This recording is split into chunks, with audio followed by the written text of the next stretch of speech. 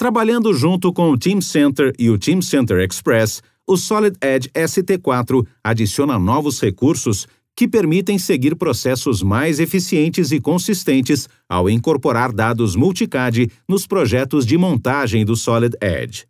Neste exemplo, vamos incorporar a submontagem de um painel de controle que foi projetado por um fornecedor externo em um formato CAD de terceiros em nosso projeto de cortador de grama.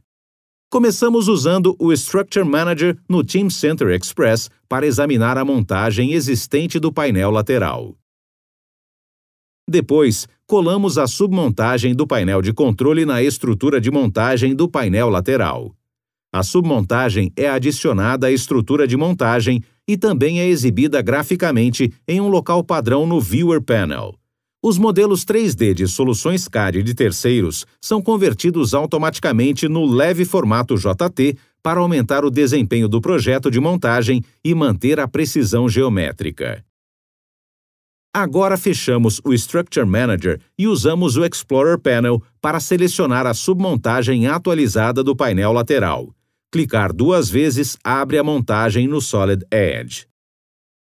Uma caixa de diálogo confirma que uma nova submontagem foi detectada e que a montagem do painel lateral será eliminada do Team Center Express e, portanto, não pode ser modificada. Ativamos a submontagem para usar a geometria de seus componentes a fim de posicioná-los corretamente.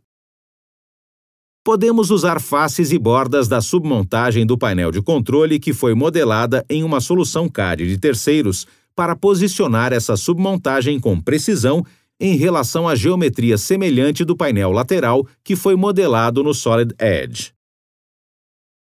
Constatamos que os locais dos furos na submontagem do painel de controle não estão alinhados com a furação do painel lateral. Neste exemplo, decidimos alterar o local dos furos no painel lateral para resolver o problema. Novamente, podemos consultar a geometria dos dados CAD de terceiros para concluir essa edição com precisão.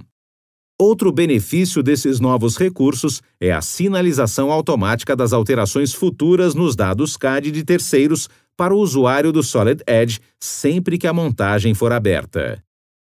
Examinamos a montagem para verificar se concluímos as modificações necessárias e depois salvamos a montagem completa.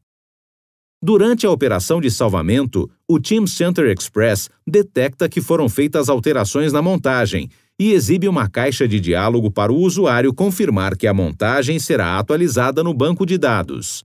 Isso garante que todas as alterações sejam capturadas e fiquem visíveis para os outros usuários.